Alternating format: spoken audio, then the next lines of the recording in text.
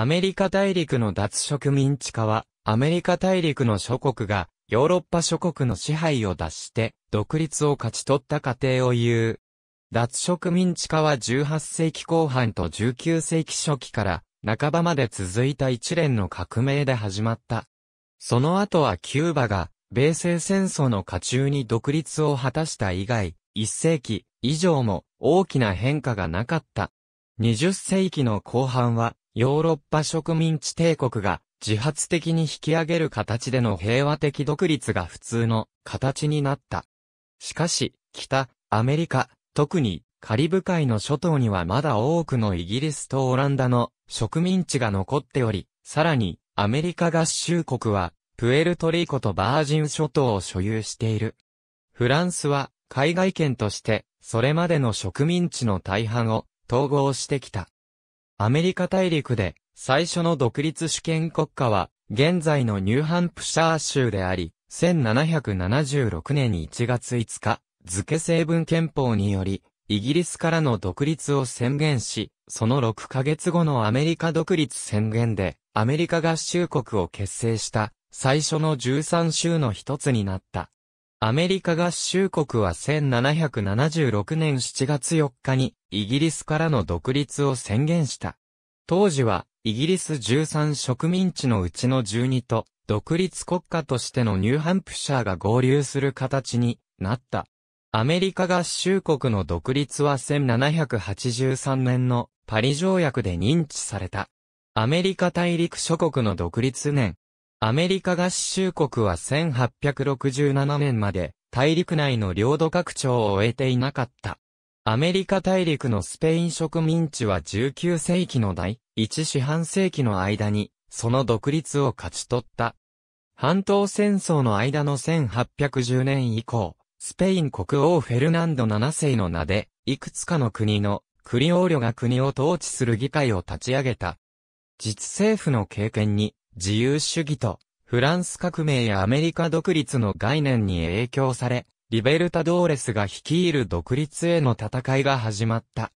植民地の多くは、スペインの貿易独占を排除し政治的な影響力を持とうとするイギリス帝国の支援で、自らを解放した。南アメリカでは、シモン・ボリーバルとホセ・デ・サン・マルティンが、独立闘争の最終段階を率いた。ボリバルはこの大陸のスペイン語圏を政治的に一つにまとめようとしたが、諸国は急速に他とは独立した形をとり、三国同盟戦争や太平洋戦争などいくつかの戦争が続いた。スペインの北、アメリカや中央アメリカの植民地でも関連した動きが起こった。メキシコ独立革命や、それに関連する戦いである。メキシコの独立は、アグスティン・デイ・トゥルビデと、三つの保将軍の連行で1821年に達成された。この統合はメキシコ第一帝政の間、短期間続いたが、10年の間に、いくつかの国家に分裂した。ポルトガル王国の植民地は、スペインとは異なり、細かく分かれてはいなかった。彼らが作り上げたカピタンス星は、サルバドールの中央政権に侵入し、サルバドールは、リスボンの王室に直接報告していた。このために、ポルトガル領アメリカと呼ぶのは稀であり、当初から統一された植民地として、ブラジルと呼ぶのが普通だった。ナポレオン戦争期には王室そのものがリスボンからリオデジャネイロへ遷都している。この結果、ブラジルは1822年に独立した時も分裂しなかった。ブラジルが主権国家として最初の60年間は連邦共和国ではなく国主制を採用したことも国の統一を維持することに貢献した。ポルトガル国王ドン・ジョアン6世の息子、ドン・ペドロ1世が1922年にブラジル帝国の独立を宣言し、初代皇帝になった。これはポルトガル王室からも平和的に認められたが、ポルトガル軍と市民の間でいくらかのゲリラ戦が起こった。ポルトガルは、ブラジルの独立を、その3年後に賠償金付きで承認した。1867年7月1日、カナダは、イギリス帝国の一自治領になった。この時点のカナダ自治領には、アッパーカナダとローアーカナダ、ノバスコシア及びニューブランズウィックが含まれていた。1871年には、ブリティッシュコロンビア、1873年に、プリンスエドワードアイランド、1949年には、ニューファンドランドが連邦に加盟した。イギリスは1870年にルパートランドと北西領土をカナダに割譲した。1931年、カナダ政府はノルウェーから北極海のスベルドラップ諸島を獲得した。この時、極地探検家ロワール・アムンセンが1908年から1909年に北極点にノルウェー国旗を立て、領有を主張してから20年以上が経っていた。ここまでの独立は、イギリス領北アメリカ植民政府間の交渉という、完全に政治的手段で達成された。ただし1837年から1838年に、アッパーカナダとロワーカナダで武力による独立の試みがなされたが、どちらもイギリス当局によって沈められた。1869年に起こったレッド川反乱は、ルパーツランドの異常を遅らせることになった。この反乱は独立と自治を求めたが、カナダ政府によって鎮圧され、王立カナダ騎馬警察を創設する要因になった。これと同じ地域で1885年の北西反乱が起こったが、反乱軍はカナダ軍と騎馬警察に抑えられた。ブリティッシュコロンビア州では多くの先住民政府はカナダの主権を認知しようとしていないので、様々な先住民族の領土が異常されずに論争が続いている。ブリティッシュコロンビア州内で正式に処理が決まった地域はビクトリア近くの小さな集合、ナス川に隣接するニスガ族の土地、及び北東部の第8条約の土地である。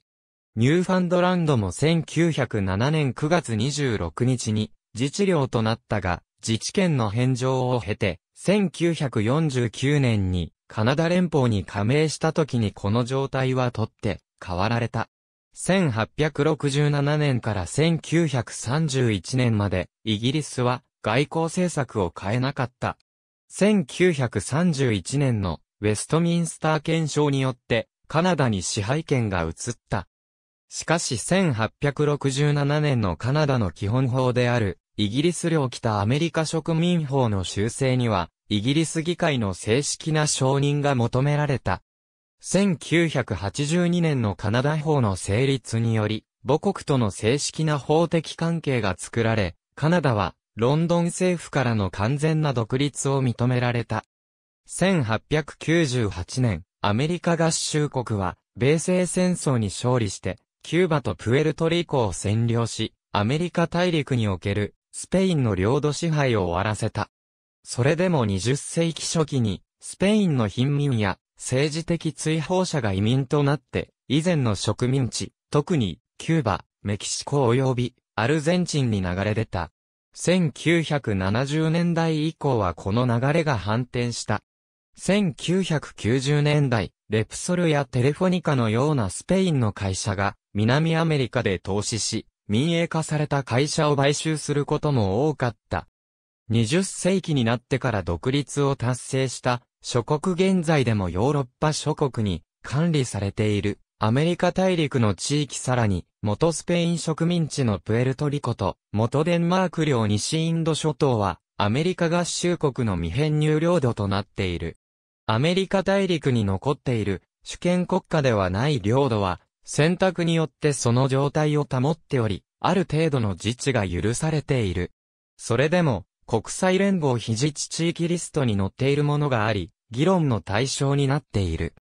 例えば、アルバは1986年1月1日に、オランダ領アンティルから分離し、オランダ王国の別の自治を行う一員になった。1996年まで続いた完全独立を求める運動も1990年のアルバの要請で止められた。